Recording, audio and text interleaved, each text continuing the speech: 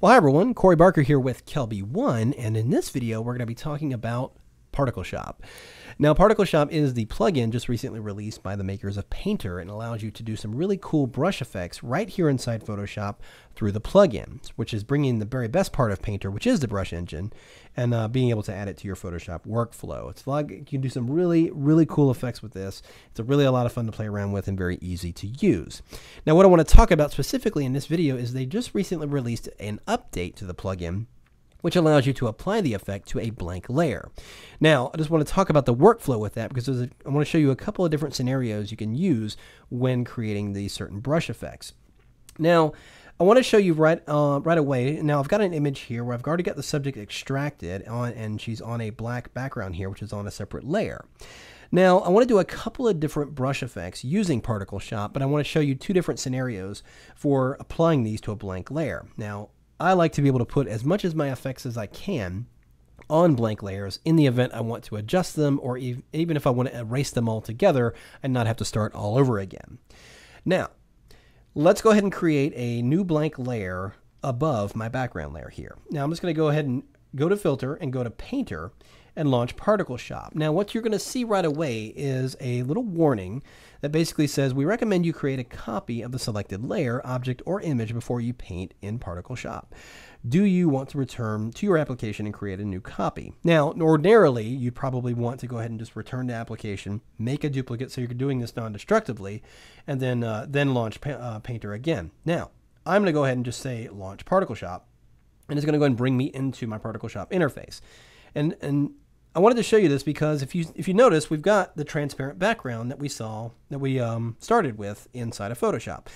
Now, ordinarily this would probably be okay depending on another plugin. However, if I go and grab a brush here, and I'm in the starter pack of brushes here, and I'm just going to grab one and just start painting in it. And I can see the brush effect on my transparent background, but it's really hard to tell what it looks like. Furthermore, it's hard to tell how it's going to look in relation to the subject I'm painting on.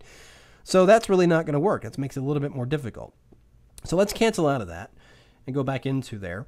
Now, I am going to go ahead and make a duplicate of the background layer. Like I said, I want to do a background a brush effect, and then I want to do effect an effect on the subject herself, um, kind of have a, a, light streak kind of going around her.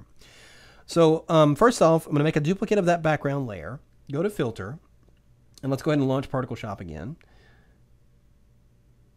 and it's again again it's going to give me that warning. Now of course if you're going to be using this a lot you can go ahead and check do not show this message again if you uh, once you know that you need to do this um, in order to apply this effect which i'm going to go ahead and do now. Uh, so we're going to launch particle shop and now i'm just going to go ahead and get uh, i want to use this fabric brush here and let's go ahead and zoom in here a little bit more. And let's actually make this a different color. Let's go with kind of a light blue color and I'm going to go ahead and activate glow there, and there we're getting that. And it looks pretty good. I'm going to bring the brush opacity down a little bit. There we go. Okay. So I'm using the fabric brush, which is part of the starter pack here. And I've adjusted the color and adjusted the opacity of the brush and everything like that. But now I'm just going to go ahead and just randomize painting my background effect here for my subject. And that's all I'm going to do. I'm just going to do a few little streaks there. I'm going to go ahead and click Save here down in the bottom right corner. And I'm also going to get another warning here. Now I'm getting two options here. I can either merge the brushstrokes with the source content, which is the original background, or I can save only the brushstrokes. Now I'm going to go ahead and leave save only the brushstrokes. And what's going to happen is it's going to return back to Photoshop, but it's going to eliminate the original background layer, leaving only the brushstrokes remaining on a separate blank layer, as you can see right there. So now I have my effect on its own layer. I can reposition it, adjust it, even throw a layer mask on it if I wanted to uh, get some masking effect going on here, and just do something like that. Pretty cool. All right. Now I want to apply my effect to my subject. So I'm actually going to turn off this uh, brushstroke layer for the moment. And what I'm going to do is with the top layer selected here, I'm going to go to the pop-out menu here, and I'm holding down the Option key as I do this. I'm going to go down and choose Merge Visible. And what that's going to do is create a merged copy of all the visible layers into a new layer. Because I want to put my brush effect around her, but you'll notice she's extracted in the original layer here. And if I bring it into Particle Shop, I'll see her, but I'll just see that transparent background. and then, as you saw a moment ago, it makes it difficult to see the effect when you're um, on a transparent background like that. This is why I went ahead and merged all these effects into a single layer here. So now I'm going to go to Filter, go to Painter, and do Particle Shop again. And it's not going to give me that warning because I went ahead and told it not to worry about telling me that. And uh, now we're in our original image here. Now, let's go and get a different brush. I'm actually going to get this uh, smoke brush here, which I actually like the effect it gives me there. But I am going to do a different color here. Let's do something more like this. There we go. And make sure the brush opacity and the size are good. Okay. And so, so now I'm just going to go ahead and just kind of make this effect kind of dance around the subject here just a little bit. Don't go too crazy with it. I think that will look pretty good there. And then I'm just going to go, again, like before, click Save. It's going to ask me, once again, um, do I want to merge the strokes with the source content or save only the brush strokes? Again, we're going to save just the brush strokes. Click OK. And now that merged layer is now just the layer with my brush effect applied to it. So now I can go over here and add a layer mask to the layer.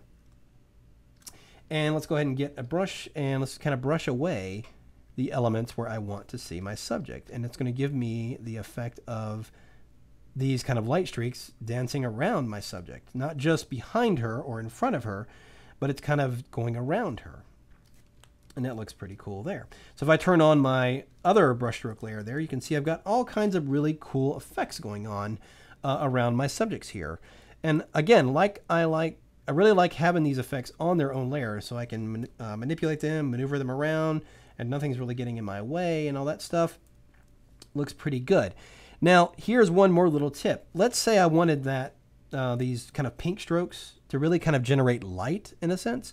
So you could do that by duplicating the layer and maybe changing the blend mode. You're going to get a little bit brighter effect depending on the blend mode you choose. If I do, you know, color dodge looks pretty good.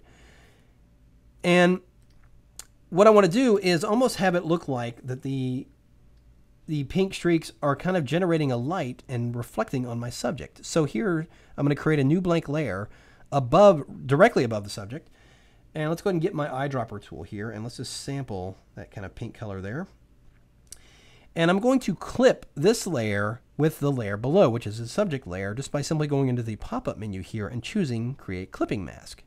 Now, whatever I put on this layer will only be visible on the subject itself. So if I go ahead and get my gradient tool, and we'll do a radial gradient, uh, foreground to transparent, and let's just do a gradient on the side right here. Now, it's not blending right. The, the effect is there, but we need to change the blend mode to something like soft light, and that's going to give me that kind of glow on it. Now, if I go around the subject and just certain parts and add a little bit of a glow there, it's going to sell the effect of that those streaks giving off light a little bit better. If I just go ahead and paint some elements here, and do a little bit there, and there we go.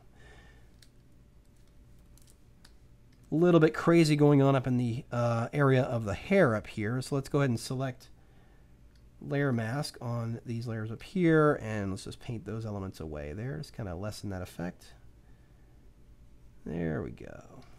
But now I have a tremendous amount of control because I'm able to apply these effects to a blank layer. But remember, you want to be able to see your subject when you're applying these effects and that's why it's important to create a merged copy or a duplicate layer altogether and then apply the effect to it and then return it back to Photoshop with the effect on a blank layer. It's really easy to do, but just want to make sure you understood how that goes. I wanted to show you a couple of different scenarios there. But again, you've got all the powerful brush elements of Particle Shop, and now you can really implement them into your workflow in a much easier way.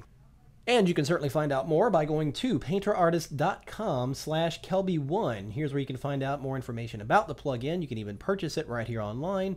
And as you scroll down, you can get a lot more information like tech specs and even learn more about brush packs and even the brushes themselves, themselves in detail. And as you scroll down further, you can actually get a little bit more information on the individual brush packs and purchase them right there. So be sure to check that out, and that's at painterartist.com slash KelbyOne.